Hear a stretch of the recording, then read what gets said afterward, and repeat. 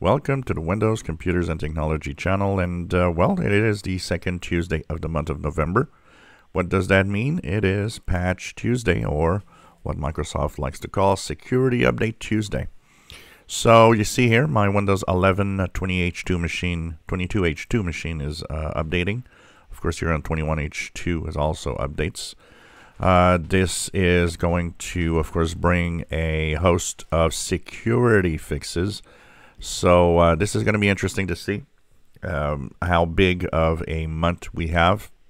I'll come back with a little more details on the uh, different fixes and the different uh, how many uh, flaws actually we are be fixing this month.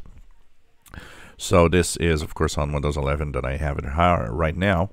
Uh, these are of course for Windows 8.1 and Windows 10 and Windows 11. Of course we have separate videos for Windows 10 so check it out. Uh, they have been released a few minutes ago. Um, and as some say, some people that, for example, in Australia and so on, it's a, it's a security update Wednesday for some of you. Uh, absolutely, depending on the uh, time zone. Uh, that is uh, always interesting.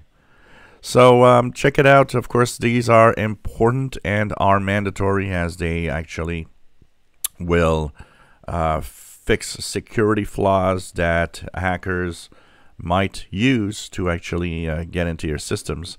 I always say it this, and what you do is 99% of all the security.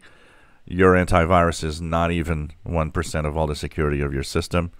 Whatever you believe it or not, um, learn more about security if you think antivirus does something.